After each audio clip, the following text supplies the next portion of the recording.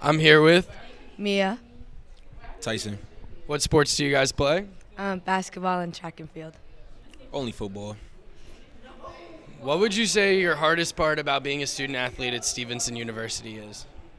Um, probably just honestly, I don't really feel like there is that hard of a thing to do because I feel like there's um, the balance of school and athletics and also like friendships. Keeps you busy. Yes. Uh, I feel like for me personally, time management. Um, as an athlete and always on the go, especially with early morning lifts, I need to get proper rest to be able to maintain all the education I'm learning and just be able to balance everything in my life. I like that. What's your favorite food? Um, probably cereal. I love me Italian food, some type of pasta or something like that. Very good. Do you have a pre-match ritual? Um, honestly, I don't. That's okay. it's totally cool. Bless you. Uh, I don't do matches, but I do football. So, uh, in regards to that aspect, before the game, I meditate and make sure I know all my plays and my assignment every time I go on the field, each play. I love that. You guys look great today. Please have a wonderful time. Thank you. I appreciate it. Thank you.